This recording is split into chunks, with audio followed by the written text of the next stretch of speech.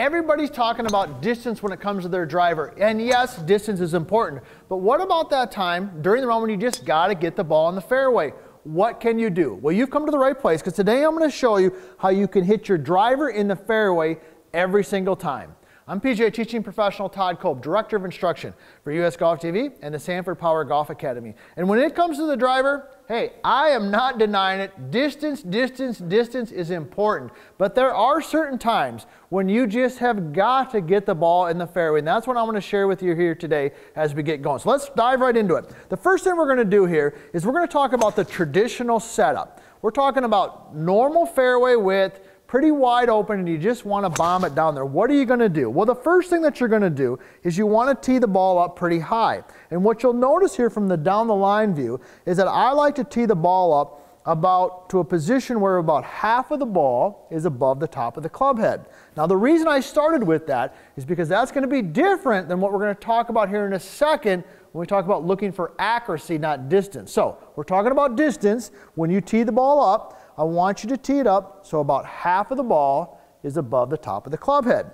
Now the other thing that we're going to talk about here is just the general setup. Now this isn't going to change a lot from the distance setup to the accuracy setup, so let's go through it. We're going to have a stance that's pretty much shoulder width apart, and you'll notice I've got the Rimer down here. I love, love using the Rimer. Anytime I'm working on ball position, stance width, aim, those types of things, it's really helpful. So I've got that ball teed up, about half of it's above the top of the club head. I got a stance width that's a little bit shoulder, about shoulder width. And in my setup, if you've watched any of my videos, you know a couple things I really like. I like the lead hip a little towards the target. I like a little bit more weight on the lead foot, roughly about 60%. And if I'm hitting the driver, I like a little bit of tilt, all right? So I've got the ball teed up, good height.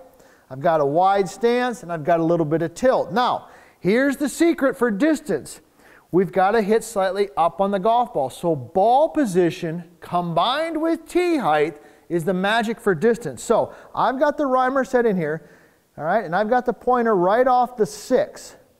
All right, that's where I'm going to keep it when I'm looking for my distance. So let's go through it. Here we go. Shoulder width, a little bit of weight left, teed up high, ball forward. All right, felt really solid, hopefully down the middle but I know if I'm looking for distance, that's what I want. Now, how about accuracy? What about when you've got to hit the ball in the fairway? Well, let's dive right into that. So the first thing we're going to do here is we're going to change the tee height. So I've got a tee now that's a little bit shorter. The other one was longer. So I'm going to go ahead and tee, put it in the mat right here, but it's going to definitely be lower than the previous one was. So if I put my club down there, notice now how it's still teed up, but it's not as high as the other one. So how much difference? I don't know, maybe a quarter of an inch. Not a huge difference, but it's definitely a little bit shorter. The other side of this is going to be basically the same. Let's go front on view here. I got my shoulder width stance, right? I'm still going to do my bump and all those types of things. But the key here is the tee height and the ball position, all right? So what I'm going to do here is I'm going to bump the slider back a little bit. So I was on the six.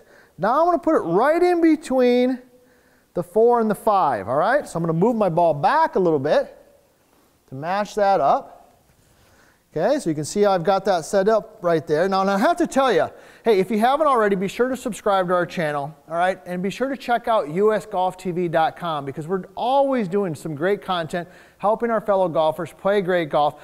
Matter of fact, you want to check out some of our stuff specifically for senior golfers, vertical line swing stuff. We got some really good things there that can help you play better golf. So let's get right back to it here. I've moved the ball back slightly. Remember, it used to be off the six. Now I've got it somewhere between kind of the five and the four, and I've teed it down a little bit, but I'm gonna go ahead and get that same setup. Here we go, I've got a little bit of tilt forward, excuse me, a little bit of weight forward, a little bit of tilt back.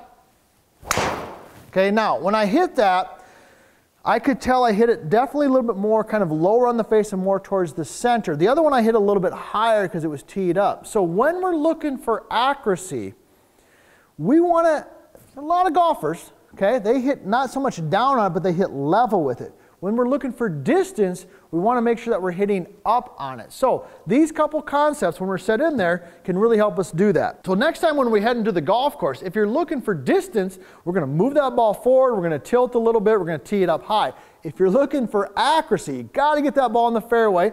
move it back a little bit, tee it down just slightly, set up the same way with all the other concepts we talked about, and see what happens. My guess is, is you're going to see that golf ball finish in the fairway.